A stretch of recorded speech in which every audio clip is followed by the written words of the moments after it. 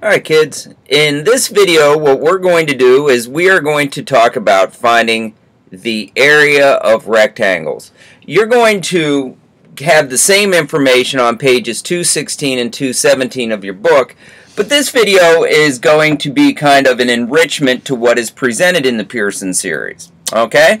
So you'll want to take out your notebook and your math book and take notes as you watch this video. Okay, first thing that we want to do is we want to talk about what area is.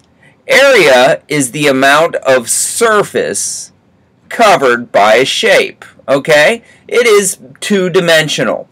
There are two basic methods for determining the area of a rectangle. Okay, so the two basic methods are number one, the grid model, which is very good in problem solving for complicated problems. And the second method would be using the formula of length times width. Okay, and remember area, and if you want to find the area, it would equal the length times the width if you're talking about a rectangle. Okay? And for many of us, that's not really new information.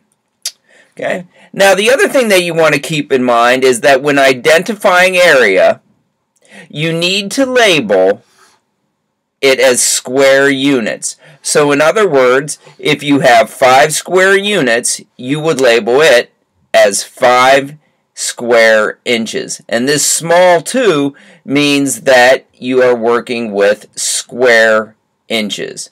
If you had 126 square centimeters, you would have cm to the second power. If you had 37 square yards, you would have 37 yards to the second power, or 37 square yards. Okay?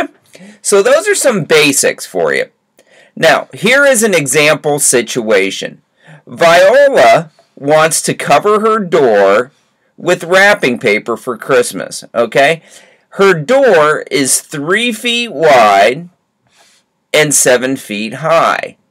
How many square feet of wrapping paper will Viola need? Now, a couple interesting things in here that you might want to take note of is one, of course, the door being three feet wide and 7 feet high. The other thing is that we're talking about area, so we're looking for square feet, okay?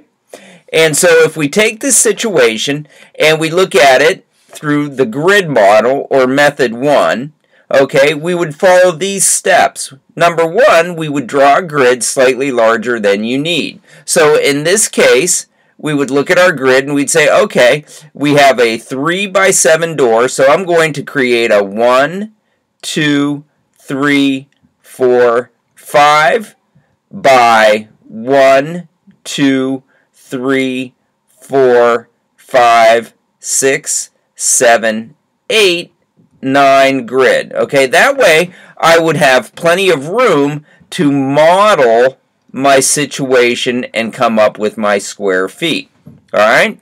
So the next thing you do is you draw your door to the dimensions that you're given or to the correct dimension. So in this case, it's 3 by 7. So I always like to start with this square right here and it's so I want to have a width of 3 so I'm going to come over 1 2 3 and put my dot there so my first width is right there. Now it's a rectangle, so I know my width will remain the same all the way down the length. And my length, of course, is 7. So I'm going to come down 1, 2, 3, 4, 5, 6, 7, and put my dot. And of course, now I know that my length is 7 units, and my width is the 3 units. So because a rectangle, opposite sides are parallel, opposite sides are congruent, I can just draw in the rest of my sides. Okay, and then you'll see that I have a rectangle. So now all I have to do is count the squares to figure out the area. So I have 1, 2, 3, 4, 5, 6, 7, 8, 9, 10, 11, 12, 13, 14, 15, 16, 17, 18, 19, 20, 21 square feet. Now notice that I'm calling them square feet because I've divided the area up into square units, okay? And I have 21 square units. So I will record my measurement as 21 feet and identify it as square feet. So I would have 21 square feet of wrapping paper that I would need in order to cover the whole area of the door. Okay? And that would be the grid model. Okay? But, you know, drawing out a grid and doing all of this is kind of cumbersome. So what mathematicians have done is they've come up with a formula. So let's take a look at using the formula method. Alright, now let's take a look at using the formula method of finding area. Okay, so now we're going to talk about area being determined mathematically. Now, when you look at this formula, understand that area is a situation that can occur many different times in many different ways. Okay, especially if it's a rectangle. And so mathematicians came up with this formula of length times width. So we put the A in front. That way, if somebody says, hey, what's the area of that carpet? You can say, well, let me get the length, let me get the width, and multiply, and I will give you the area of that rectangular carpet. Alright, so that's why we have a formula with area representing A in front of the equal sign, and then the method for finding area mathematically.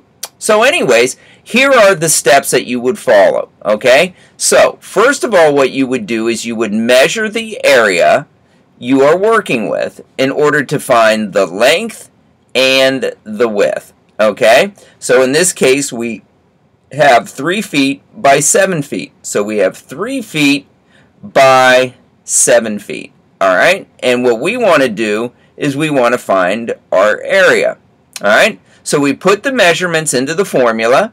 So our formula, of course, is area will equal the 3 multiplied with the 7.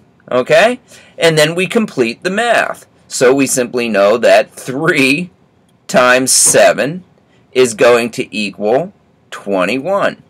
So we've completed the math, and now we record it as square units. So I would have 21 feet and squared. Okay? There we go. So that is how we would find area using the formula. Okay? So, let's take a look at some other things that might occur when working with the area of a rectangle. Occasionally, you will get a situation such as this one, using the formula for area of a rectangle to determine an unknown measurement of a rectangle. So now we have an example.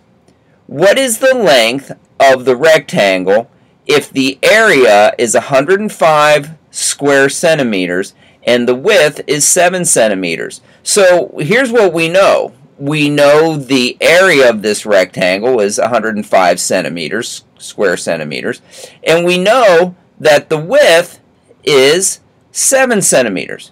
What we don't know is the length of the rectangle from here to here. Okay? So, in order to solve this problem, the first thing that we would do is we would set up an equation. So you set up your equation and then isolate the variable. Alright? So in this case, we take our original formula of area equals length times width, and we simply plug in the known amounts. So what we do know is we know the area is 105 square centimeters. We know the width is 7. Okay, so we know the area and we know the width. And we know that in order to find the area, we multiply the length times the width and we'll get 105. So now what we want to do is we want to isolate the length. Okay, so what we will do is if we have multiplication in order to find this, we're going to use the inverse operation to get the variable alone. So in this case, we'll take 105 and we're going to divide it by 7 because we want to get rid of this 7 over here and the only way we can do that is to divide the inverse of multiplying. So 7 divided by 7 will give us the L, or the length, by itself, but of course we want to balance the equation, so 105 divided by 7 will give us 15. Now, what I always like to tell kids is, then what you need to do is you need to check to see if that really is going to work. In other words, you want to take and plug in what you found as a value of L, which is 15, and multiply it by what you know is the width, okay, which is going to be the 7. So what we're going to want to do is check our multiplication and see if we don't actually come up with an area of 105. So if I take 15 and I multiply by 7, I have 5 times 7 is 35. Regroup the 3. 7 times 1 is 7, plus 3 is 10, and my answer is 105. So, that checks, okay? Now, to keep it even simpler, okay, this is really nice to look at, and it's really good math, and it's really what's happening, but, you know, the general rule of thumb is basically you divide the area by the known measurement. So if you want to define this length, just take the area and divide it by the width that you know. If you wanted to find the width, you could just divide the area by the length that you know. Okay? So that's a general rule of thumb, but this is mathematically what you are doing. You are isolating a variable to find out its value. Let's try some example problems now. These problems can be found in your book as well as on this video. Why don't you see if you can find the area of figures 1 and 2 pause the video right now and come up with your answers.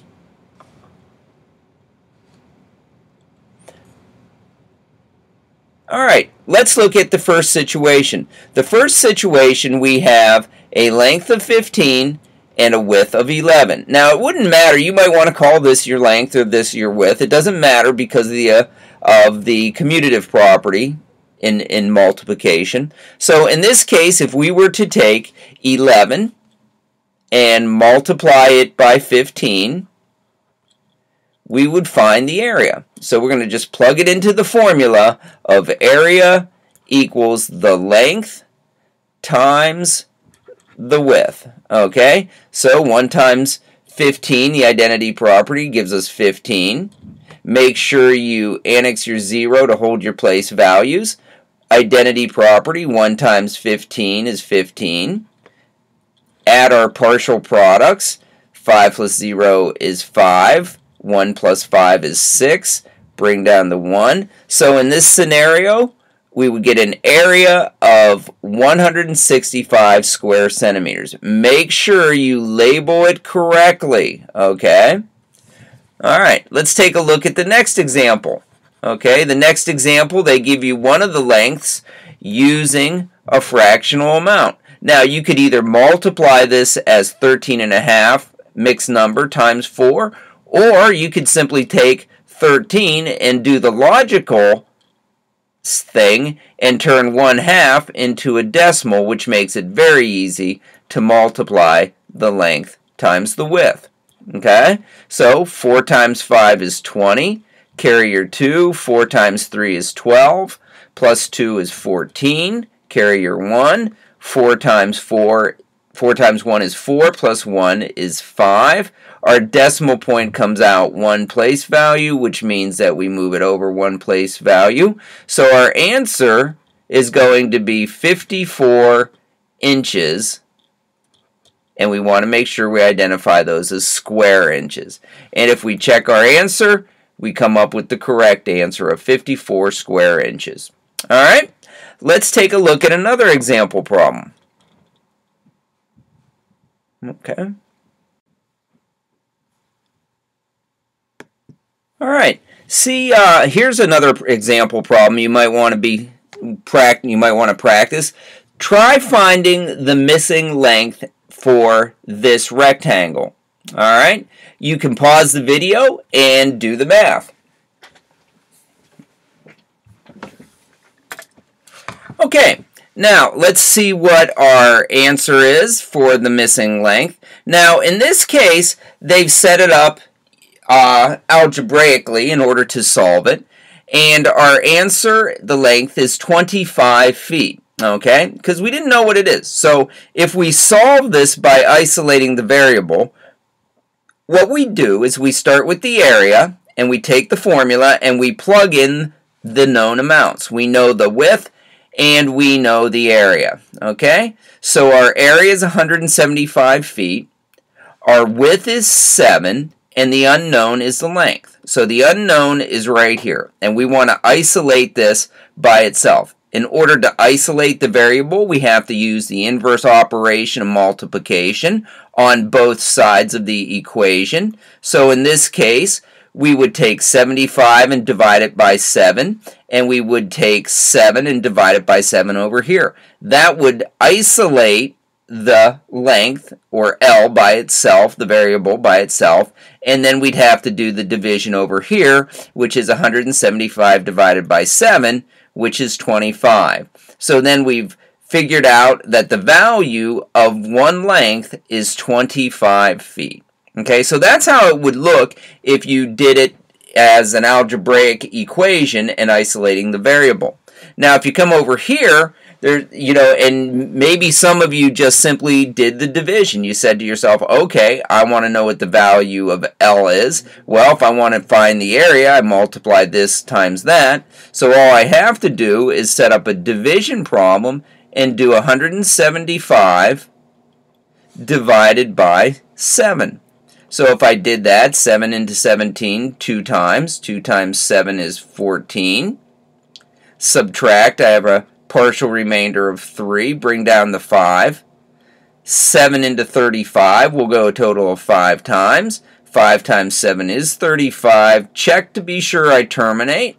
And then I find out the unknown uh, length is 25. And then, of course, what I'd want to do is I'd want to double check to make sure that 25 really is the value. So I would take 7 and I'd multiply it by 25 just to be sure that it equals 175. 7 times 5 is 35. Regroup the 3. 7 times 2 is 14 plus the 3 is 17. And so my answer checks for the area. Okay? So, so anyways, there are some uh, example problems and some information on finding the area of a rectangle. If you need further help, you can go to your book and look on pages 2, 316 and 317. You can also use the Pearson, Pearson Realize videos to help.